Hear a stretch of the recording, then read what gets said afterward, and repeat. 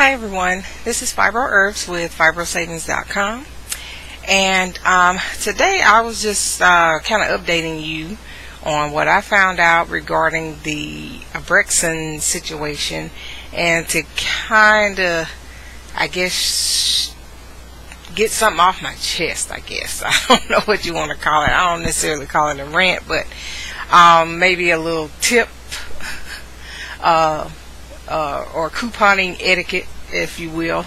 Um, but um, I have been looking all over my city for that weight loss supplement. It was something that I was definitely interested in because I did the research and looked up the ingredients ahead of time and um, realized that it was a natural supplement and it would probably go well with the medications and um, the conditions that I have. So I felt like that it wouldn't uh, interfere with anything. And um, I wanted to get at least a six month supply, at least, you know, if it was possible. Well, um, I was told by a manager at Walgreens the what when I go Monday when I went to try to find some. Went to three different ones, all gone.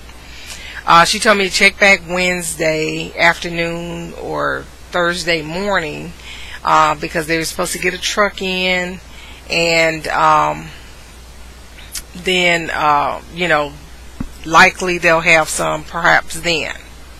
So I checked back this morning. Of course, no Abexin.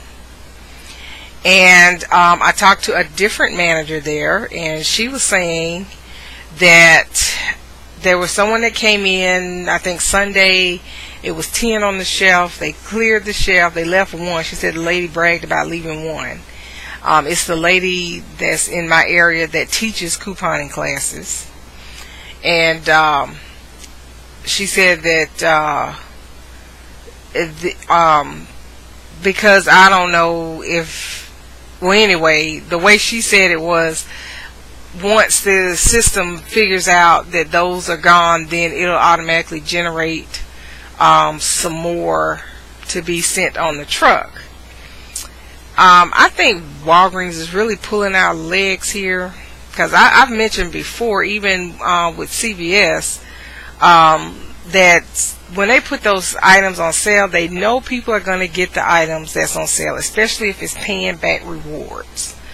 And I believe they deliberately do not um, order anymore, or they if whatever's on the shelf, that's what they'll sell.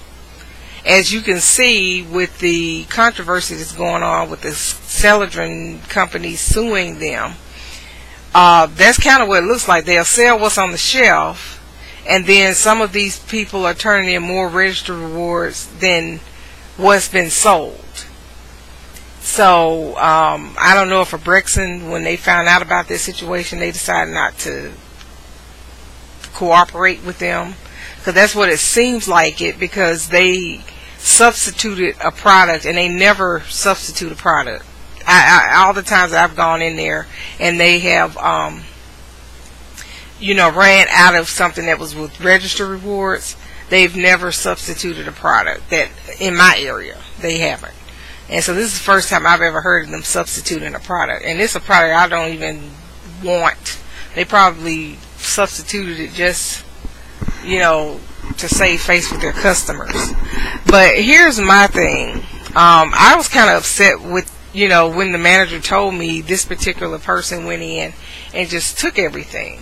And she's going to all of the different um, stores in the area, and she does this, just clears the shelves and um, it kind of brought to my I was it kind of brought to mind a video that I saw the other day where this person is trying to um, get over I think fifty thousand uh, free stuff in a year or something like that, and she had bought something to add to that total. It wasn't something that she needed, but she just bought it because it was free and she wanted to reach her goal or whatever. And to me, I mean, it's getting to the point where people are um, are um, using couponing as a sport versus using it to really help yourself and your family. Um, and this is probably why a lot of these stores really getting upset with us, with the couponers in general, um, because we, you know, some people are not using it, they're abusing the system, is what I'm saying.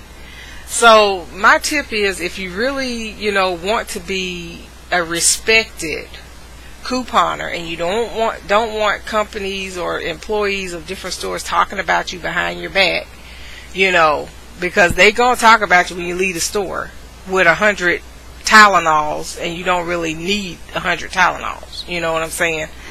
Uh, because I mean it's really not necessary to do that. Uh, everybody sees my when you watch my videos, you see my hauls. You don't see like um, a floor from the floor to the ceiling of different items just because you can get it for free or just because you know it's producing a register reward. I, I have these small mini hauls, and I'm telling you right now, I do not have room for all the stuff that I've gotten over the last few months. I haven't been doing this type of couponing except for I started in June, but I didn't really start stockpiling until about August of last year. So from August up until now, I have a one closet and a laundry room full of stuff and I still don't have space. And if it wasn't for me getting these containers and and dividing stuff off, I would not have space for all this stuff. So it's really not necessary to clear the shelf or go buy 20 of one product just because it's producing a register reward or you get so much stuff you end up having to give it all away um, just to get it out of your house you know, coupon with a purpose is all I'm saying. You know, and and and that way it'll make it easier for all of us when we go into the stores because uh, that's probably this is the same store that I was talking about that I felt like I was pegged when I walked in the in the door. And so when I was talking to this manager, you know, I was like I said, You all see me coming here all the time. And I said, I use my coupons, and, and y'all know that I will roll my rewards if it's something that I really, really need it, you know, and I may get, you know, more than two or three or four, you know. Um, but I said, I all, I don't ever come in here and just wipe the whole shelf out, and I don't go to ten different Walgreens and clear the shelves there either. I said, I will leave something for somebody else. And I said, I, you know, I said, really, I, I even told the manager, I said, you all need to petition to your company to go ahead and put limits on the, the items at Walgreens just like they do at, uh, CVS and Rite Aid. I said, because at least I can go to those stores and have a chance of getting something. Uh, but when you don't put any limits on it, then you have one or two people coming there and just take everything, and then Walgreens doesn't uh, replenish the stock.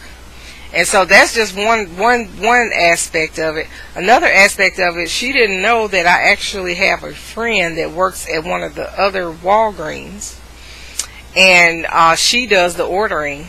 You know, someone I used to work with years ago. You know, she does the ordering for her store. And whenever I go in there and there the shelf is cleared, then um, she says, "Well, you know, I'm putting what is it?" She says, "Because I'm putting in an order, and it should be in by Friday or Saturday or whatever." And so she actually is supposed to order out some more of the Abexin and hold a couple of them for me. And so, you know, the question is, does Walgreens automatically ship the stuff? or is it poor management in the store that's not um, ordering properly, or is the company deliberately not sending or not uh, having enough stock of these items that are free or that's producing large register rewards? You know, to me, is it deliberate? Is it poor management? just what's going on. That's what I don't understand with um, Walgreens. Um, normally, I don't get on a, a, a, tangent about this, but I really, this is the one product I really, really, really wanted, and it was gone the first day, and it doesn't look like we're gonna see that product the rest of this week. So I'm I'm very tempted to uh, call the manufacturer or call the company and see if I can work out a deal and and get the same thing for the same price uh, that uh, Walgreens was gonna sell it for. You know, because to me it just doesn't. I, I don't know. Or I might call Walgreens find out what's going on. Are y'all deliberately doing this or what? you know, I don't know. In light of that uh, Celadrin situation, it does sound like it's a deliberate act, but who knows? So just uh, okay, enough uh, fussing, as I say, uh, as my mom said, quit fussing. Anyway, that's just what I wanted to kind of let you know. Uh, if you've talked to any of your managers at your Walgreens or any of the other drugstores, uh, what have they told you about um, what answers have they given you when they when you go in there the next day and they don't have something that they have in their own sale paper in stock? That's that's my question. I would I would like to see if if all the lies are adding up. So until then, I look forward to hearing from your com- hearing your comments or seeing your comments. Um, so until then, bye for now.